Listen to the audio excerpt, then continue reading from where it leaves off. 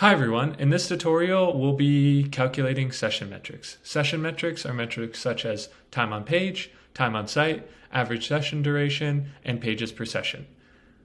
Posthog has the concept of a session, which is a group of events grouped together to represent one use of your product. We can use the session to calculate all of these various metrics. Uh, there's a time between the first event of the session and the last event of a session, and we'll be using that lots throughout this tutorial. So to start, we're going to create an insight inside our Posthog project.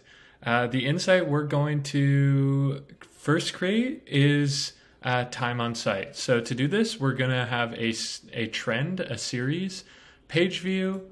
Uh, we're going to use property value here and we're going to use sum of session duration. So when we change the y-axis to seconds, we'll be able to see our sum of session duration, and that will give us time on page.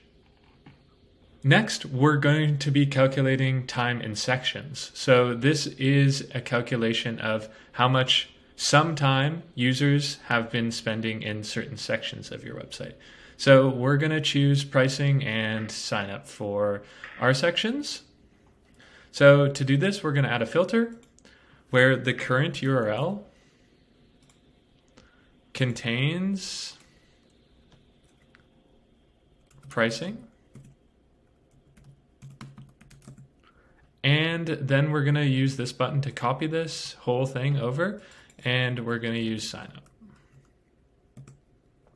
So that will break down our graph and give us two sections. So you see that people are spending a lot more time on the sign up page than the pricing page. And you can have this be any uh, current URL you want, and that will filter by sessions that have that URL in them. Next, we're going to do time on pages. So this is another breakdown. We're going to look at the specific pages people are spending the most time on.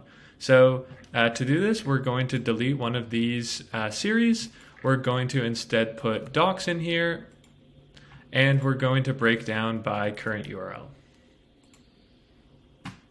So when we change the chart type to a bar chart, we're going to get a bunch of values of how long people have been spending on various pages on our site in our doc section. Um, so again, you can filter this however you like, um, but it will break down which pages people are spending the most time on. Now we're going to look at average session duration. So average session duration is quite a popular metric. Uh, Google Analytics does use it heavily, and we can calculate it in Posthog very simply. We're going to get rid of the filter. We are going to instead look at property value average, and then we're going to remove this breakdown as well, and then go back to a line chart, and we'll see we have an average session duration for our site. Next, we'll be calculating pages per session. So pages per session is calculated a little differently. Uh, we're not going to be using the property session duration value. Uh, we're instead going to be using the uh, page view total count, and we're going to be adding another value, which is again going to be page view. Uh, but this time it's going to be unique sessions.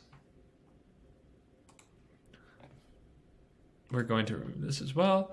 Um, and we're going to use the formula mode to divide the total view count by the number of unique sessions. And this should give us a value of uh, about the number of pages that someone views per session. So we see here, uh, if we change the y-axis back to none, we'll get a number of page views per session. So those are some basic metrics you can calculate using sessions. Uh, if you have any questions, feel free to leave them in the comments below or head over to our Slack community at posthog.com slash Slack. Uh, we also have tutorials like this one and many more on our site at posthog.com slash tutorials. Thanks for watching. Bye.